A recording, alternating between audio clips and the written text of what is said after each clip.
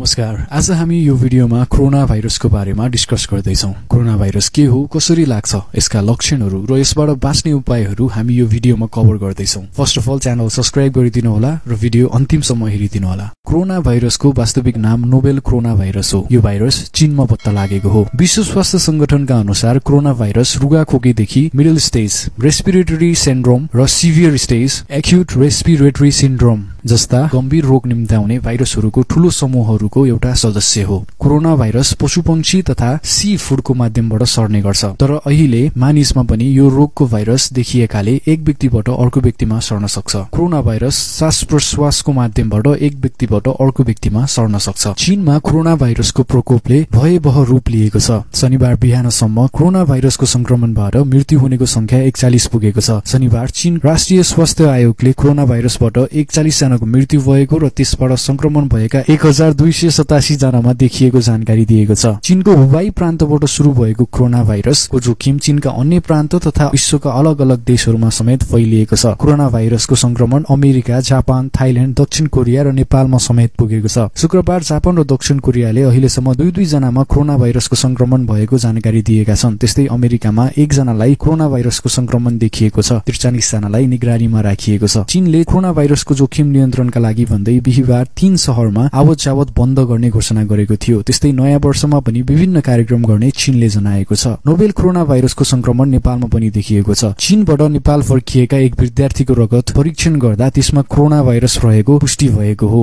नमुना परीक्षणका लागि गत मंगलबार विश्व स्वास्थ्य संगठन हङकङ पठाइएको थियो। नोबेल कोरोना भाइरसको परीक्षण सेवा नेपालमा उपलब्ध नै छैन। चीन सरकारले कोरोना भाइरस नियन्त्रण गर्नका लागि लगभग नेपाली सोह्र अर्ब रुपियाँ छुट्याएको छ। बिहिबार अर्थ मन्त्रालयले विज्ञप्ति जारी गर्दै कोरोना भाइरस प्रकोप नियन्त्रण गर्न सोह्र लाख छुट्याएको जानकारी दिएको थियो। कोरोना भाइरसका लक्षणहरू के के हुन् त?